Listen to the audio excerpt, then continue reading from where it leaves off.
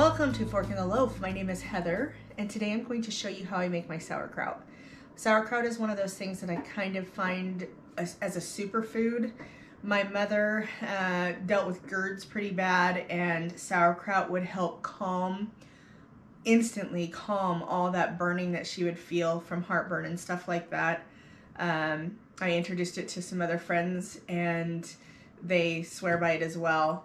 So I keep sauerkraut on hand all the time for my mom and for my husband. And I don't really have issues with sauerkraut or with, with heartburn, but my mom really did for a while. And then she found other ways to heal her. She's actually healed it to where she can have oats and beans and stuff like that again, although we are doing keto, so it doesn't, that's not part of our diet. Um, so to show you how I make my sauerkraut, which it's high in probiotics, it's a vegetable, it's cabbage, it's beautiful stuff. So I'm gonna go wash this off real quick. It's looking pretty dirty. So the first thing that we're gonna do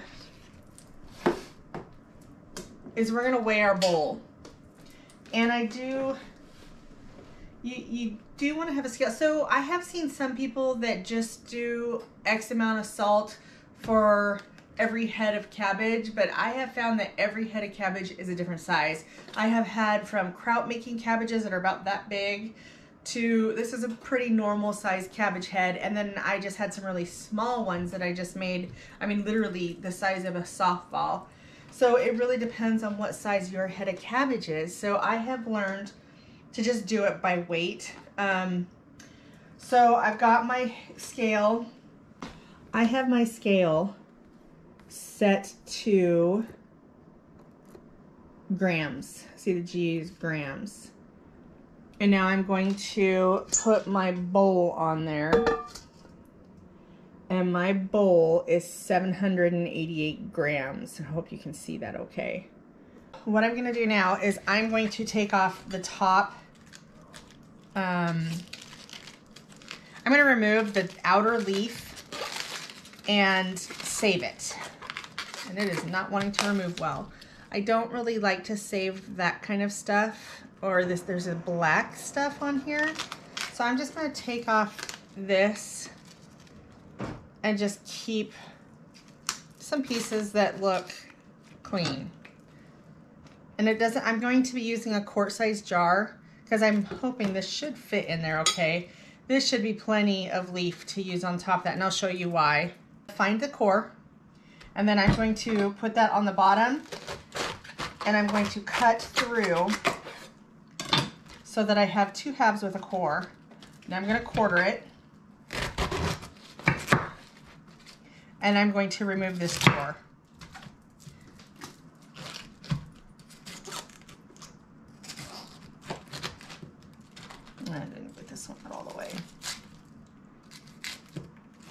Chickens love this stuff. And it is one degree outside right now. It is cold. So I'll take this stuff to my chickens. One of the things that I found with making sauerkraut is you make it too big and too long, it gets messy. Like you go to eat a bite of it and you got a strand hanging. That drives me crazy. So I have them cut into eighths. Let's see. Oh, this. There you go. Now I know you can see what I'm seeing.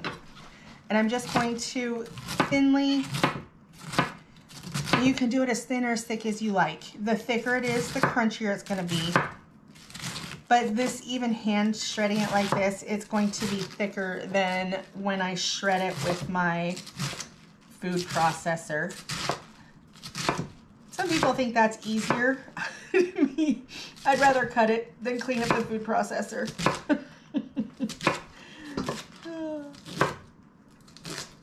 You do you. You, however you like to do it, you do it. it. All that matters is that you are chopping up the cabbage. So I'm gonna finish chopping this up and I'll be right back with you. Okay, so now I know um, that took me about two or three minutes. That's all it took to chop all that. Um, so I know that this bowl weighs 788 grams. So what I'm going to do now is I'm going to take my bowl of cabbage and it's at 1732.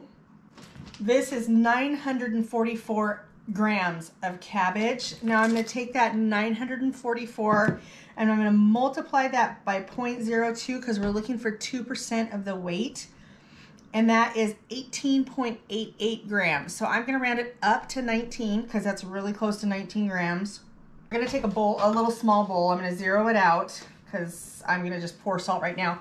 I have a couple different options. The one salt you don't want to use is table salt. This is kosher salt, which means there's no iodine added and it's all kinds of good stuff. You can use kosher salt. You can use, I use Himalayan pink salt. You could use real Redmond's real salt. You could use anything but a table salt. A table salt has things added to it. Um, I have not tried it with table salt. So really you could use almost any kind of salt for it. Okay, there's 19 grams of salt. Okay. There is nothing harder than being on the keto diet, diet and still baking fresh baked bread for your family. Just came out of the oven. all right, so now I have all my cabbage and I have my salt and it's all weighed out. It's 2% salt to the weight of the cabbage. At this point, you can mix it with your hands. I don't love salt getting all over my hands. I get it in my nails and kind of feels like it dries things out a little bit. So I'm literally just stirring the salt in right now to mix it all the way through all this cabbage. And now I'm just gonna let this sit here for about a half an hour. And I just want you to take a look at what it looks like now. And when we come back in a half an hour, I will show you what's gonna happen to it. And look, it's already starting to sweat. You'll see water starting getting extracted from there from the salt. So you're really just trying to mix that salt in really good so it gets to all the cabbage and starts that sweat process. So at this point, I'm just gonna walk away and I'll come back in about a half an hour and I'll get back to my video. All right, so I don't know if you can tell, but this has reduced in size just from the sweating. And it's actually been more like 40 minutes just because it's not exact science. You know, I mean, timing is just up to you what you can do. Um, I've heard some people wait an hour, some people wait longer. Um, what I'm going to do is start putting it into my jar. I have this thing. This is my my great grandmother's, maybe my great. I think it's my great grandmother's mashed potato thing. Um, and you can pound this with this, but again, I, I just an extra step that's I don't find necessary. So I'm just gonna mix this in. Now I get to put my hands in the salt water anyway. Uh, I've got a wide mouth mason jar. This is not mason actually, this is a, uh, an old mayonnaise jar, but this works perfect for this because I can't can with it. And I'm just gonna start shoving this in here and this may not be big enough. So this is when this comes in handy. I'm gonna take it and I'm just going to press it down I wish, I don't know if you can see the juice, the fluid that's coming up here. I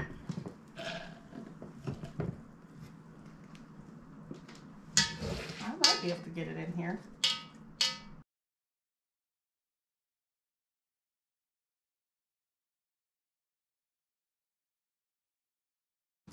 Oh, that's not what I meant to do.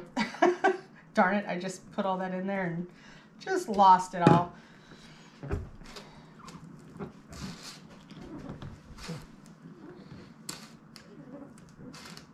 So I'm not gonna get all of my cabbage in here. I only have about this much left.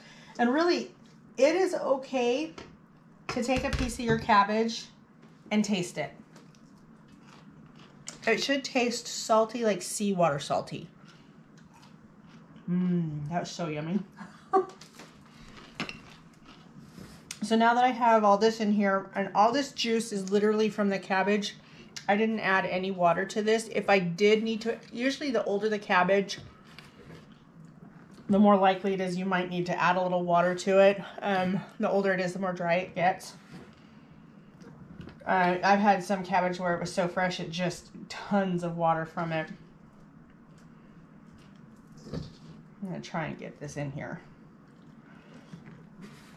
And I just keep pressing.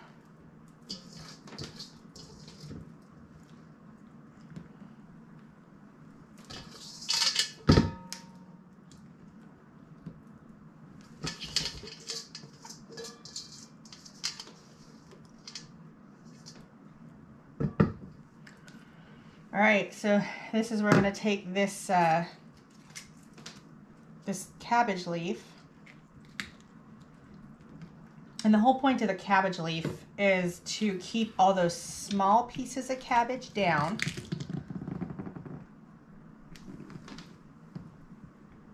So that you don't have a bunch of these little teeny tiny floaty cabbages on the top.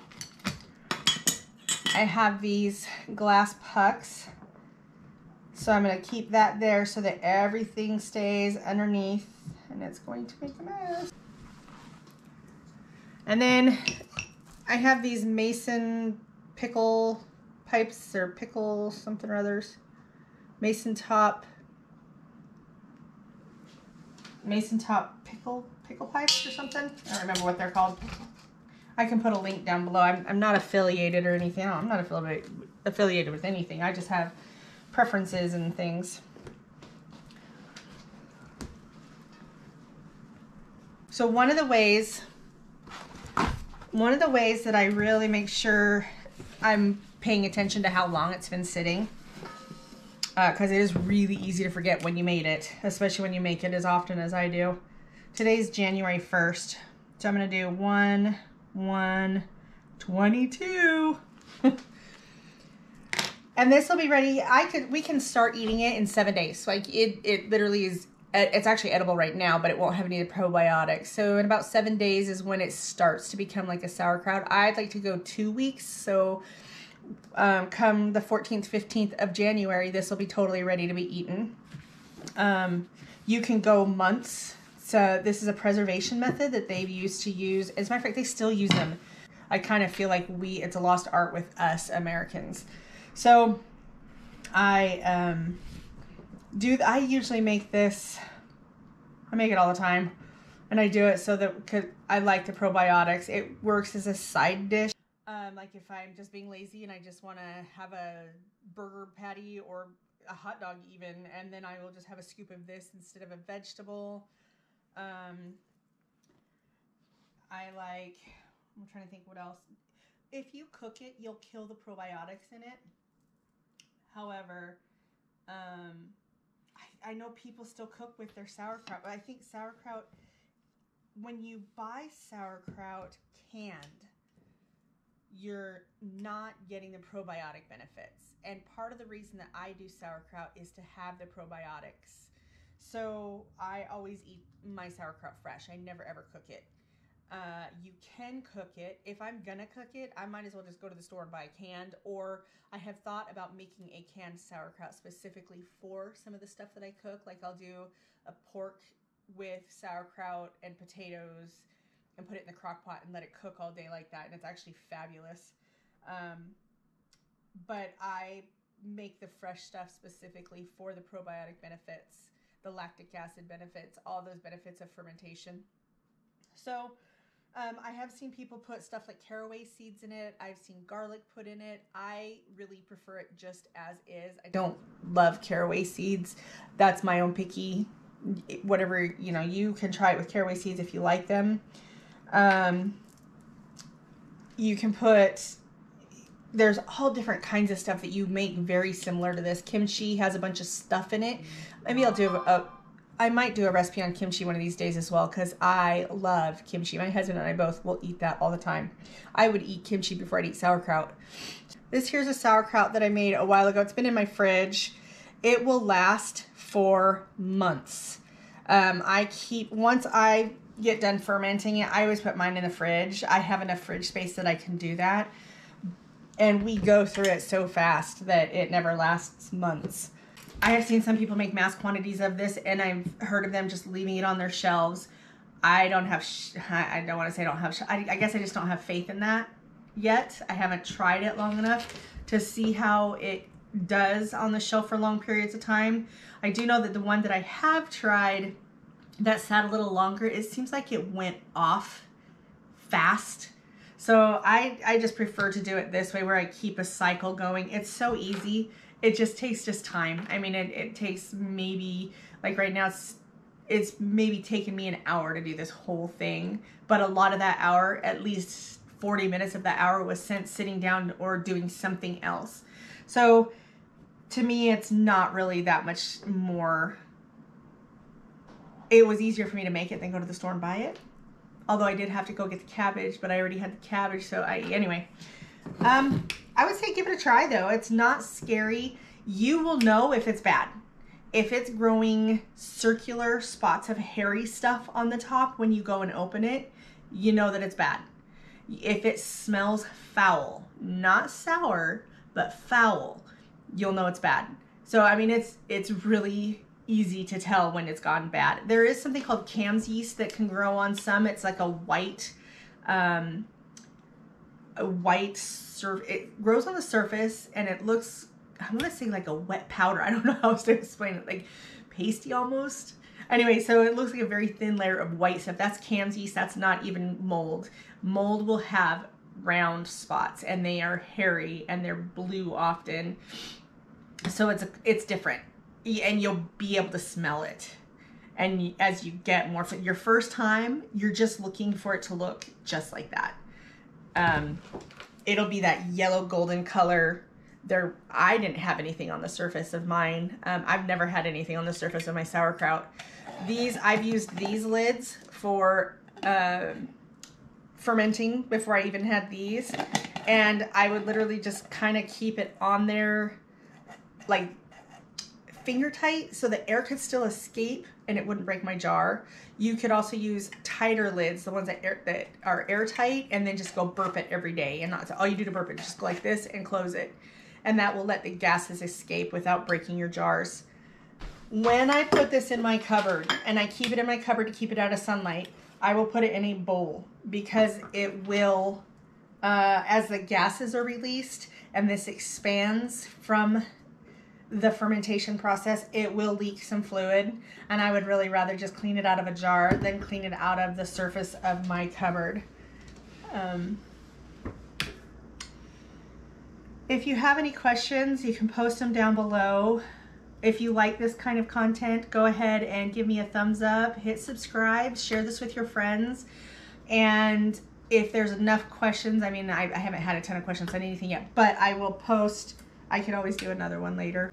Thank you for joining with me on this adventure on a fork in the loaf, and I will see you next time.